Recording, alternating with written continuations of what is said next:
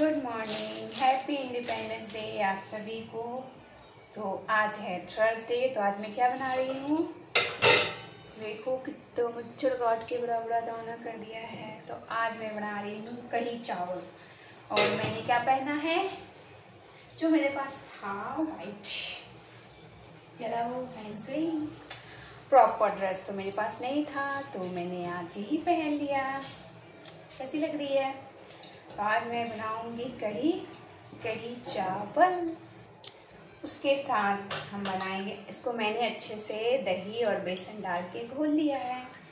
क्योंकि कढ़ी बनाने में तो ज़्यादा समय लगता नहीं है।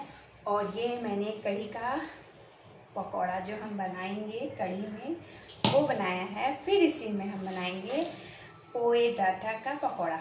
आज ना मुझे कल रात जब मैं रिटर्न आ रही थी, कल मैं मार्केट गई थी तो मुझे ना पकौड़े खाने का बहुत मन किया, फिर मुझे दिख गया पोए डाटा।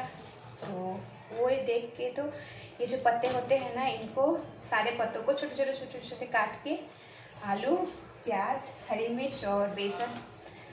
क्या हुआ? और ये जो देख रहे हैं आप लोग, ये मसूर मूंग की दाल को मैंने फुला के रखा है, क्योंकि हम बेसन का नहीं खाएँ लोग ना बीच बीच में बुलाने लगते हैं। मुझे ना वीडियो बनाने में डिस्टर्ब कर रहे हैं। बिल्कुल पसंद नहीं है मुझे। वीडियो बनाने के समय कोई मुझे डिस्टर्ब करे।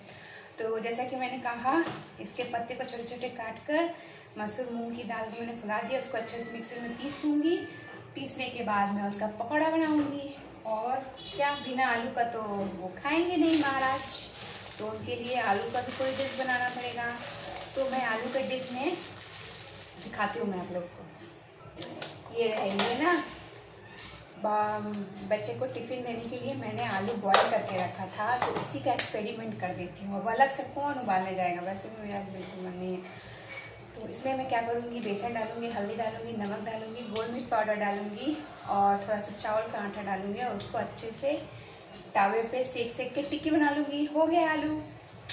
और कढ़ी को मैं करी पत्ता, सूखी मिर्च से फ्राई कर दूँगी। मिलते हैं अपने नेक्स्ट ब्लॉग में।